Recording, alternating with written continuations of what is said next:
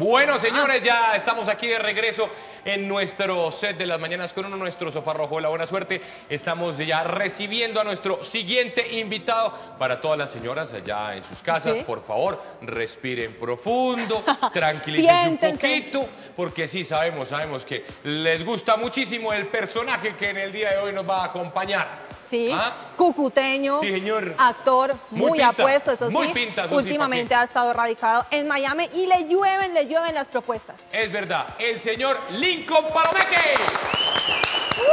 Gracias, mi brother. ¡Qué Lincoln! ¿Cómo estás? ¡Qué milagrazo de verlo! Bienvenido. Muchas gracias, muchachos. Hola.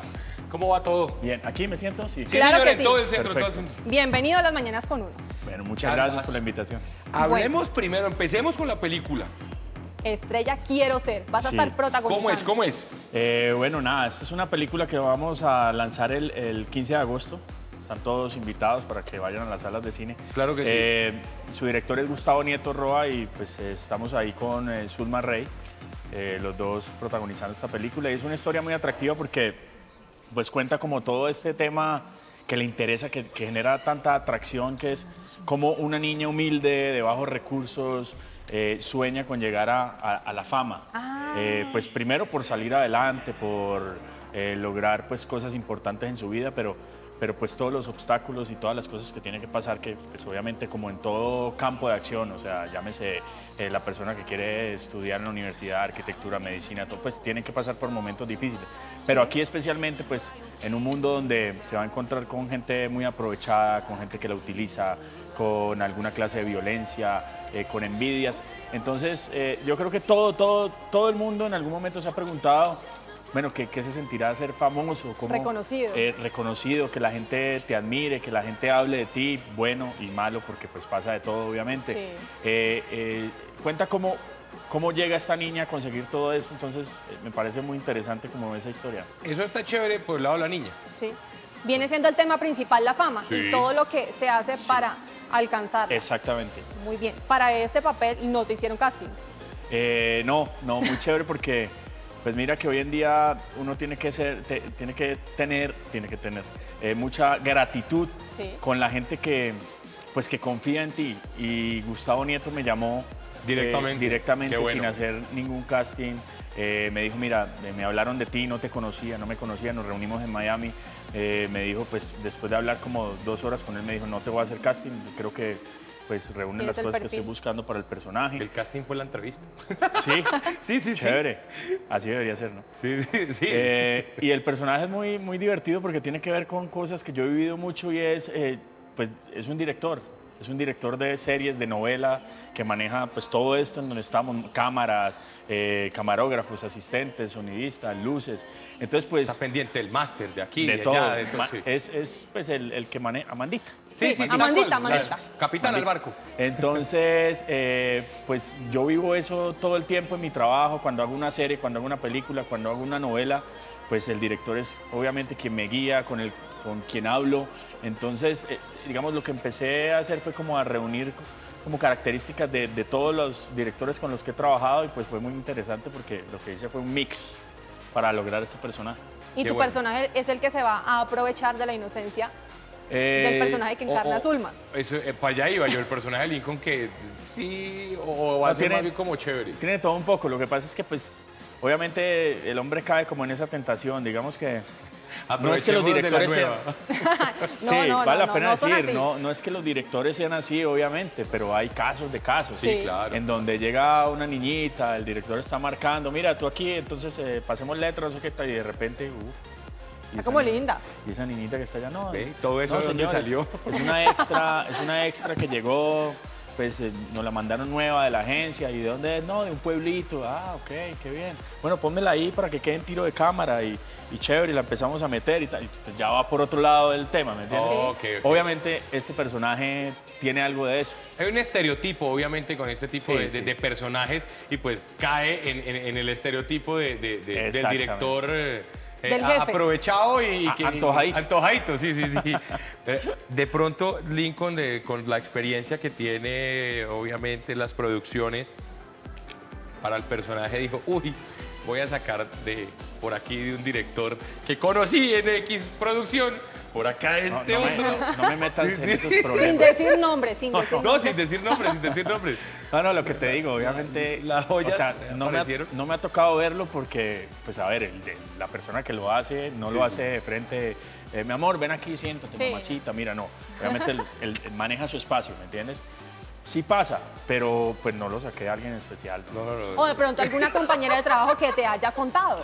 Eh, mira, este señor director estuvo coqueteando. Sí, ha pasado, claro. Cosa, me, ha- me ha tal pasado, pues, o, o sea, de pronto con actrices eh, reconocidas ya, que, pues, que me han dicho, mira, cuando yo estaba arrancando, me pasó esto y esto y esto, y pues ah, me tocó pararlo en seco, o, o de pronto... No me dieron el personaje de tal cosa y se lo dieron fue a otra niña. Tal cual, Eh, pasa, pasa total. y a todo nivel, no solamente lo que pasa es que como este medio está más expuesto, pues Sí. obviamente es más notorio, pero, pero a todo nivel yo creo que Jefes de tipo- cualquier empresa también. Claro. Y, y que, eh, o sea, mucha gente piensa que este tipo de acoso, si se podría llamar así, Sí. es solamente en los medios de comunicación o en el modelaje o en este No, tipo no, de... No, eso se da medicina, arquitectura, iba a decir arquitectura, medicina, Aviación, aviación, sí, lado. en cualquier, Ahí en- en la cualquier cabina del En la piloto. cabina. Oiga, eso es eh, sí. un sueño frustrado, ser piloto. ¿Cuánto tiempo se demoraron rodando Estrella Quiero Ser? Eh, tardamos más o menos como casi dos meses, Sí. un poquito más. Realmente lo mío me lo... eh, yo estaba haciendo una novela con Telemundo en Miami. Santa Diabla. Santa Diabla. Entonces eh, me cuadraron todo afortunadamente para venir y rodar toda la parte mía, que fue complicado porque me dejaron todo al final. Eh, Sí. Pero bueno, nada. la- y estabas grabando al tiempo Santa Diabla y también Estrella Quiero Ser. Terminé Santa Diabla y el otro día, es más, creo que en la noche tomé un avión a, a Bogotá y arranqué a, a- a rodar la película. Es- Ahí estamos viendo imágenes de De Santa Diabla. Santa Diabla. Entonces, eh, ¿Y esa es la Diabla? es Gaby Espino, Sí. que era mi esposa en, en la novela. Sí. Eh, y bueno, nada, eso tenía un gran elenco. Estaba Carlos, Carlos Ponce también, estaba Jimena Duque, que es una actriz colombiana, Sí. que de pronto no la conoce mucho acá, pero le va muy bien allá.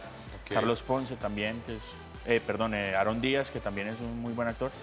Y nada, estuvo chévere esta novela porque es como, como meterse en, pues como en un nuevo en un nuevo entorno, un nuevo ambiente, en una nueva técnica, porque es distinto, ¿me entiendes? Desde, desde el tema del hablado hay que neutralizar, hay que hablar un poco diferente porque el público es, eh, en un gran porcentaje es mexicano, entonces no tienes que hablar mexicano, pero tienes que hablar Más muy vocalizado. vocalizado. Muy así. vocalizado. Sí. Exacta- Muy vocalizado. Exactamente, güey. Eh, ve- ve- Y ya neutralizando un poco el acento, venga, Lin, con esa parte de, de- Usted es una persona muy familiar, usted es muy familiar, y pues, pues todos sabemos que se radicó en Miami con Carolina, y pues todo esto, dejar la familia de pronto a un lado. todo. ¿Cómo ha sido como ese proceso? Buena pregunta, güey.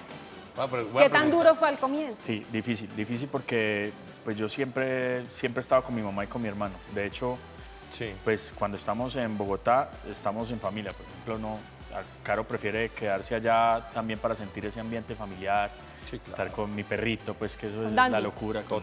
Divino. Eh, y sí, es duro separarse porque son muchos años, pero no sé, yo sentí la necesidad de un cambio a todo nivel. Eh, quería tomar como un aire distinto, como meterme en un público diferente. Obviamente, pues gracias a Dios tengo una carrera chévere en Colombia, pero, pero claro, quedarme aquí era eh, esperar, sí, no, hay un casting, listo, voy, gracias a Dios, pues de pronto me lo gano, entonces otra nueva serie, otra nueva novela, esperar que la novela esté en el canal que esté marcando rating para que te vaya bien y si no le fue mal y la pusieron a las 11 de la noche. Sí. Entonces, nah, quería desconectarme de ese tema. Sí, y, total.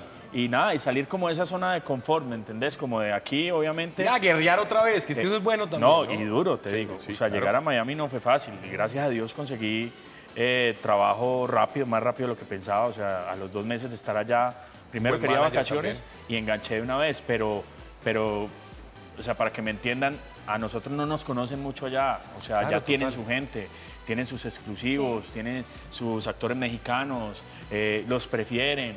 Eh, es difícil A- meter- abrir, abrir campo, abrir campo es complicado. O sea, uno llega a ser parte de un número más. De acuerdo. Sí. Afortunadamente, pues nada, caí en un muy buen personaje. Cayó parado.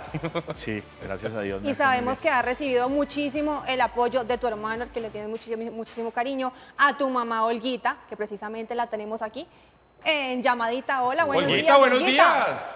Buenos días, ¿cómo les va? Bien, bien. ¿Cómo estás tú? Muy bien. Cuéntanos cositas aquí sobre el muchacho.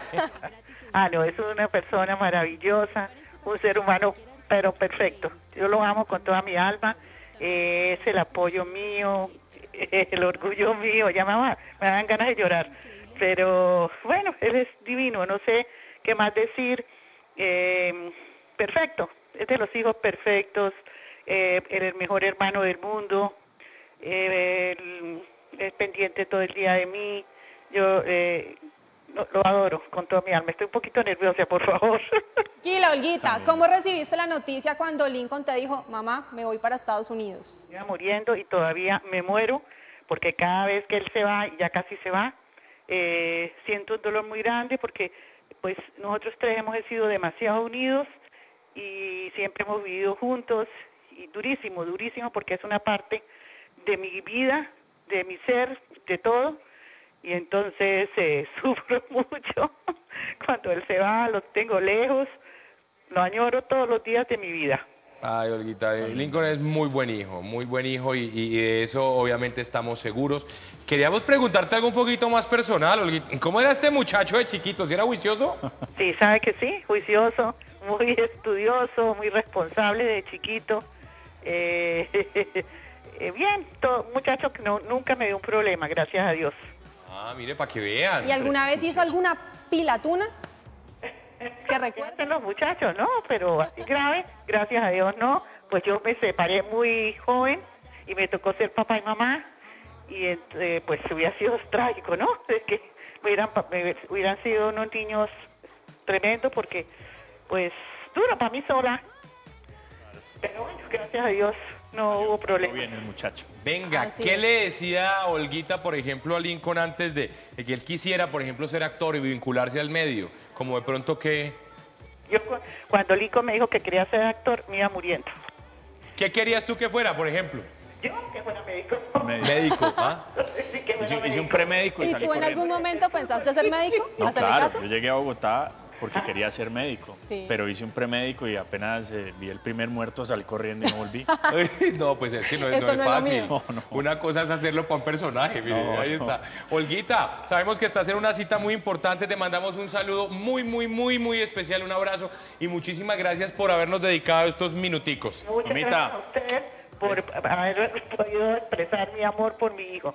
Ay, qué linda. Te amo, madre, te amo, gracias, Bueno, besitos. Un beso. Chao. Bueno, chao. Oye. En las mañanas con uno.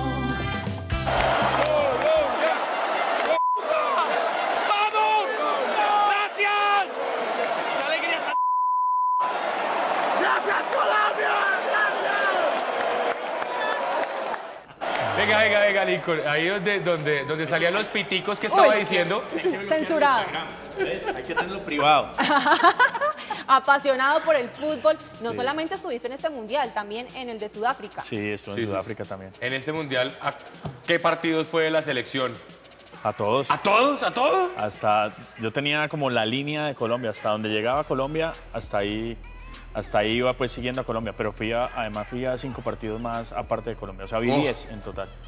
¿Qué, qué experiencia. Llorando y todo estaba ahí. Ese- esas imágenes Sí, de qué partido fueron. Ese fue eh, Colombia-Uruguay en el Maracaná, 2-0, que James hizo un golazo además. Lloramos todos. Pero era impresionante porque los uruguayos decían como que, eh, y loco, viste, nosotros no pensamos que, que fueran locales cuando llegamos a ese estadio, boludo, y vemos 30 mil colombianos. amarilla. Entonces eh, fuimos locales los cuatro primeros partidos hasta que llegó Brasil, obviamente, ahí ya pues es- es- la pasamos mal en el estadio, la verdad. Venga, ya, eh, y quería, quería saber eso, ya que estuvo en el partido contra Brasil, estuvo en el estadio, estuvo allá metido, ¿cómo fue realmente lo que pasó?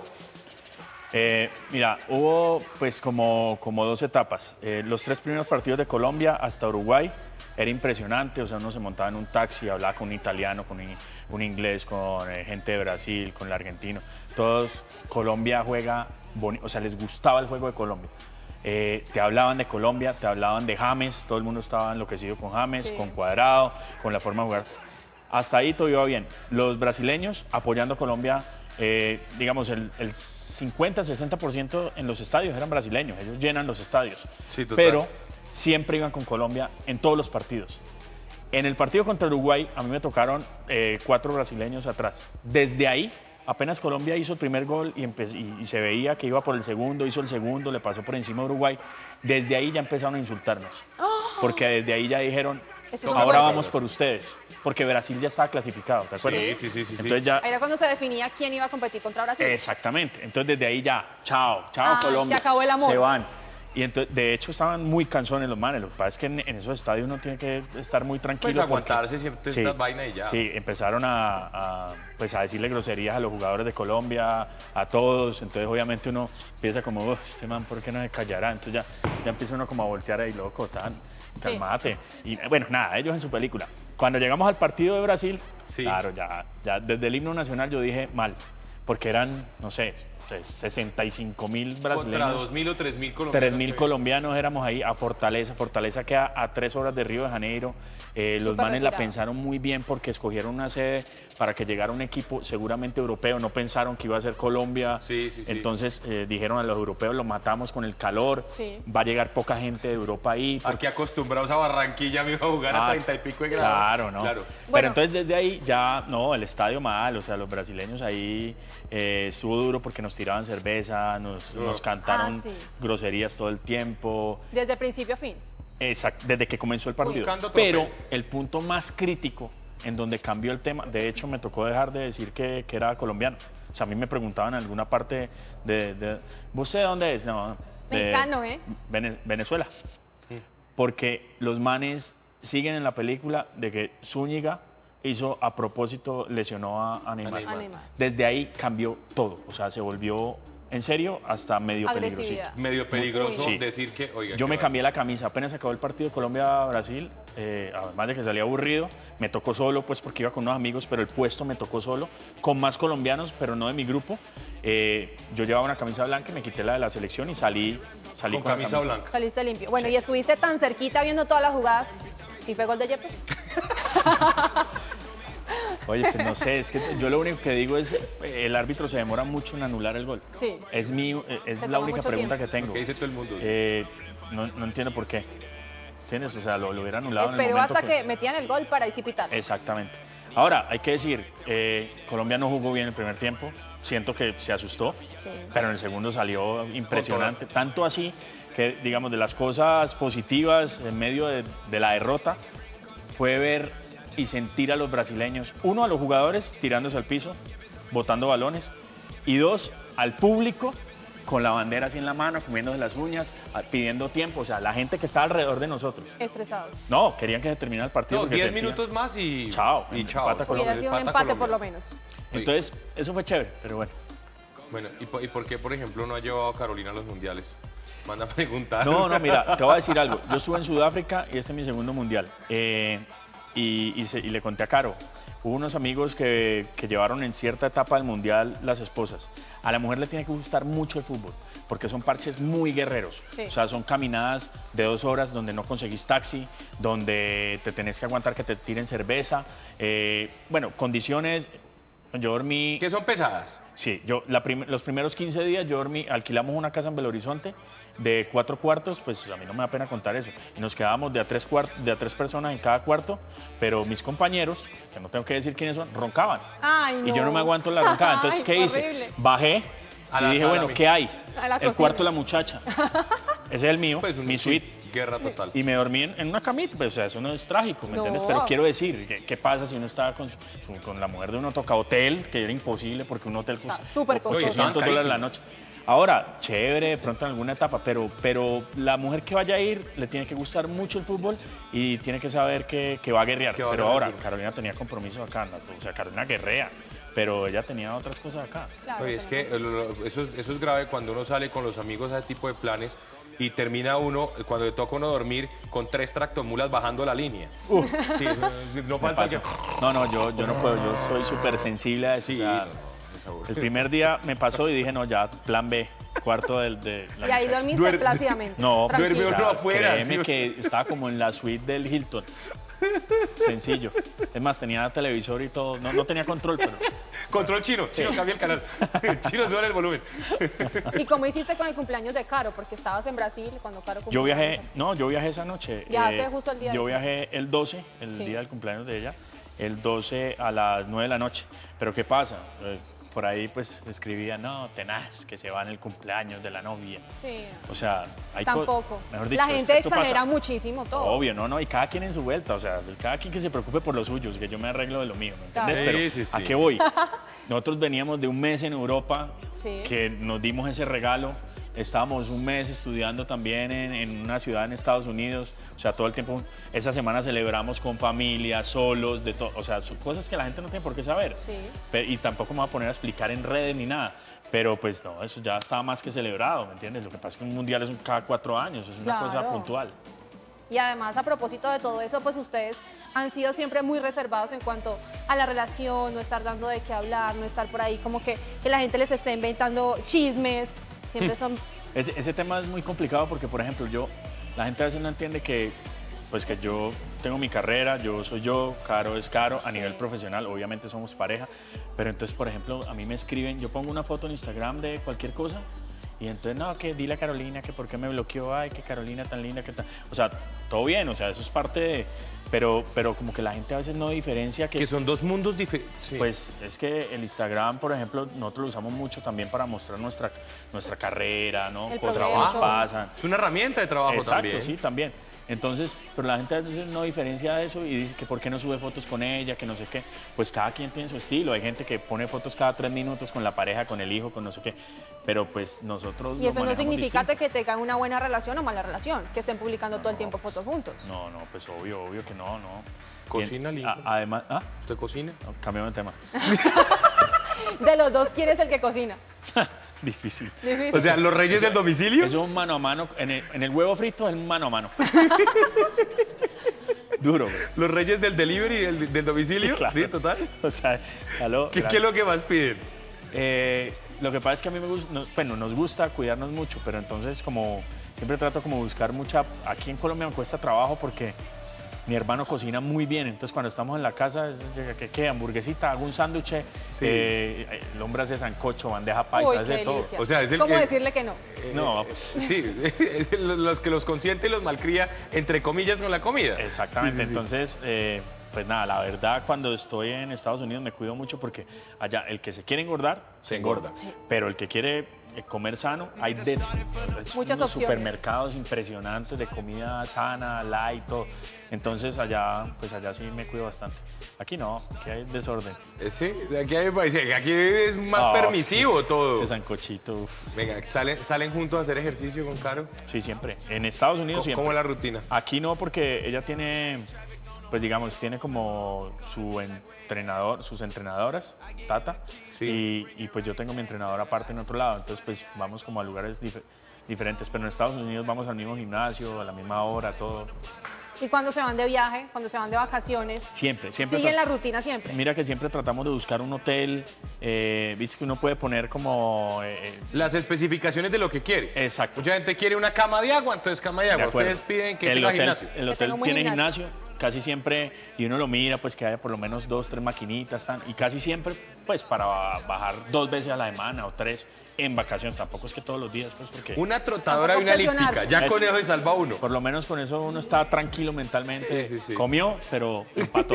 es cierto. Y el hijo querido de ustedes, Dandy, Nada, no, imagínate. ¿cada cuánto se ven con Dandy? Porque obviamente por motivos de Sí, Estados Unidos, que ahorita un poco estamos más hablando que estricto, en, ¿no? en Estados Unidos es difícil tener el- la mascotica porque pues hay, hay muchas reglas, por ejemplo a nivel del, del edificio no, no puede quedarse ladrando porque nada el vecino eh, pone la queja y te llega una, una multica, tiene que pesar exactamente 20 kilos, eh, entonces si O sea, no se bien- pueden perros de más de ¿Qué 20 tal? No. kilos en un apartamento. no, no se Ok. puede. En- por lo menos en, en el edificio donde estamos nosotros.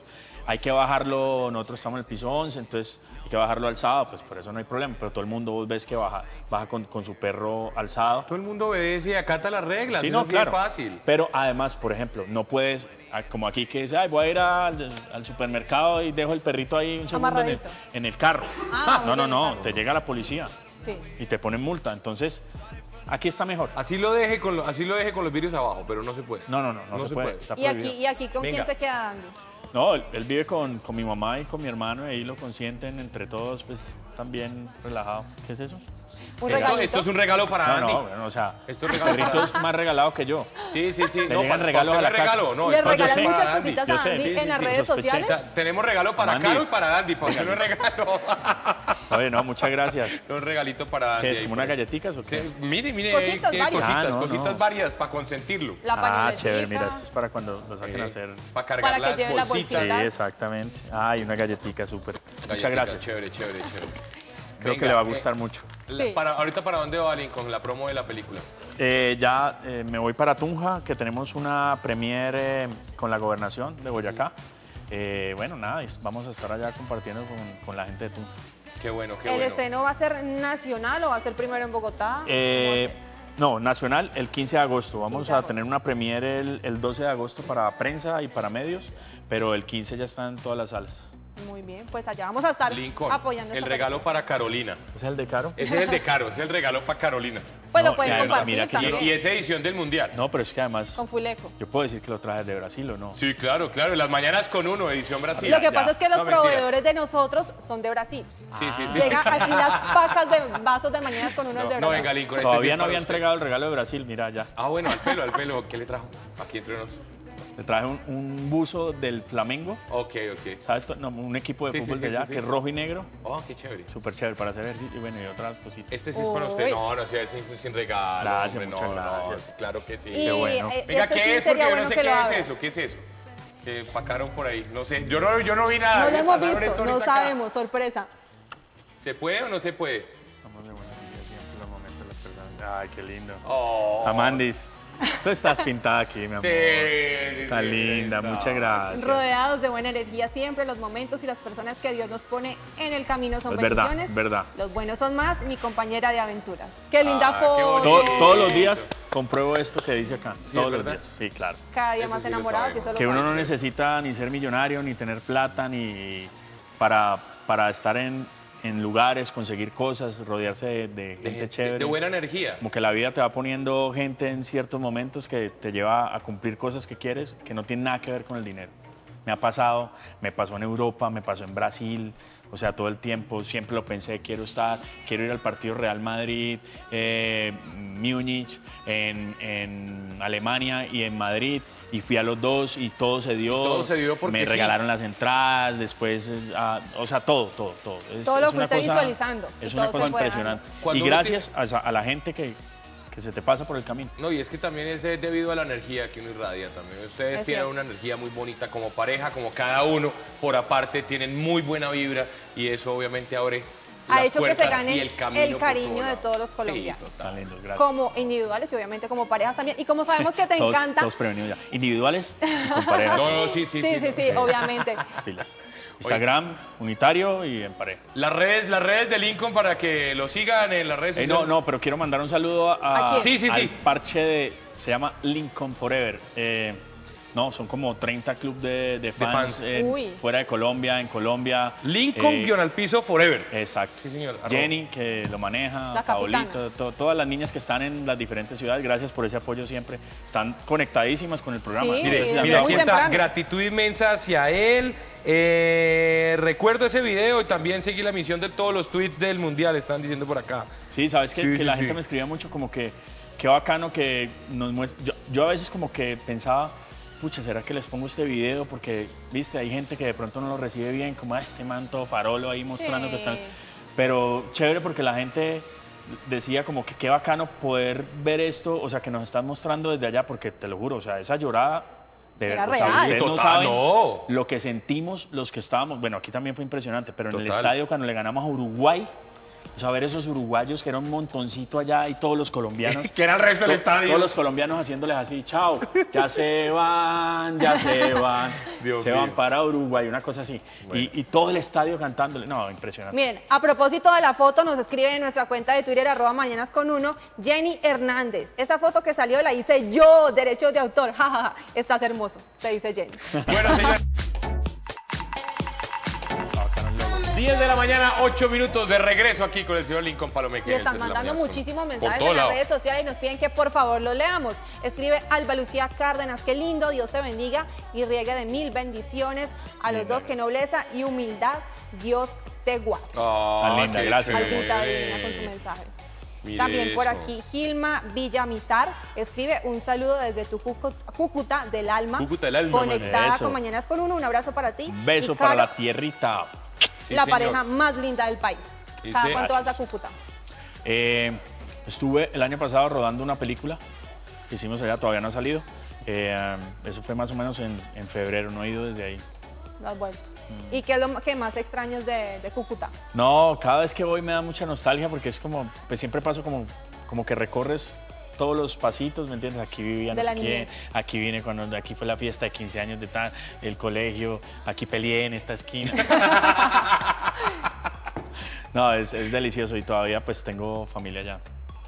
Oiga, Lincoln, muchísimas gracias de verdad por acompañarnos aquí en el set de las mañanas con una mañana increíble. No, de verdad, pero- quiero, quiero felicitarlos porque se siente una muy buena energía y Muchas gracias.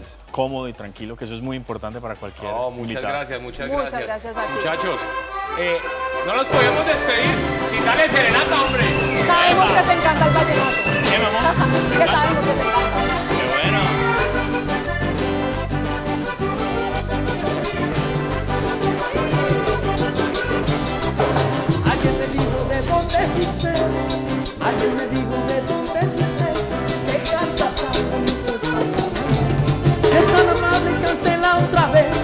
quiero escuchar de nuevo su guitarra.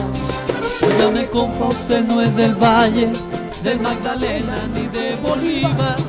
Se me antoja que sus una tierra desconocida y yo le diré Si a usted le inspira, saber la tierra de donde soy, con mucho gusto y a mucho honor.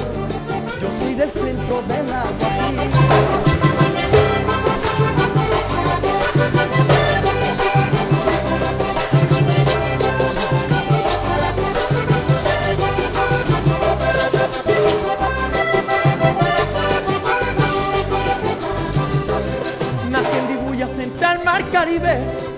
Nací en Dibuya frente al mar Caribe, de donde muy pequeño me llevaron. Allá en Barranca me bautizaron y en toda la Guajira me inselí. Yo vi tocar a Santander Martínez, a Bolañito, a Francisco el hombre, a Lolo escrito al señor Luis Pitre, las acordeones de más renombre. Soy de una tierra grata y honesta, la que su historia lleva mi nombre. Yo soy aquel cantor de Fonseca, la patria hermosa de Chemayor.